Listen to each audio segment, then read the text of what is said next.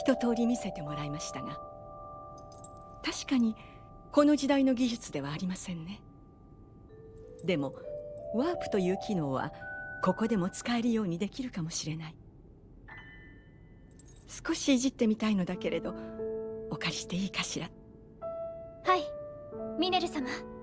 何かのお役に立つのなら。ではお借りするわ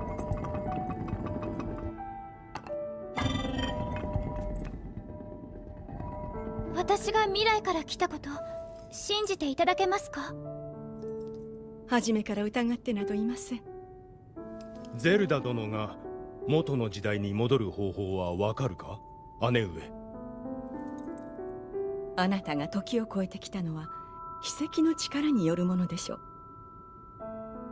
そもそも秘跡とは持ち主の力を倍化する秘宝です。私であれば肉体から抜け出す魂の力。ラウルであれば魔を滅する光の力。ソニアは時を司る力。あなたからは光と時二つの力を感じるわね。倍化されているのは時の力のようだけど。時の力？しかし秘跡はあくまで力を倍化するだけ。実際にそれを制御し行使するのはあなた自身。だからあなたが帰り方をわからないというなら。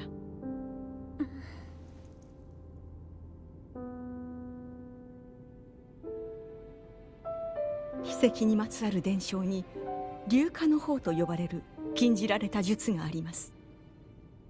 秘跡を飲んだ者は調整不老の竜となり永劫の時を手に入れる。なるほど。ある意味で時を超える術か。これが何かの手がかりになるのではということだな。ええ。しかし伝承には続きがあります。竜へと姿を変えた者の心は永劫に戻らない禁じられた術と伝わるゆえんです。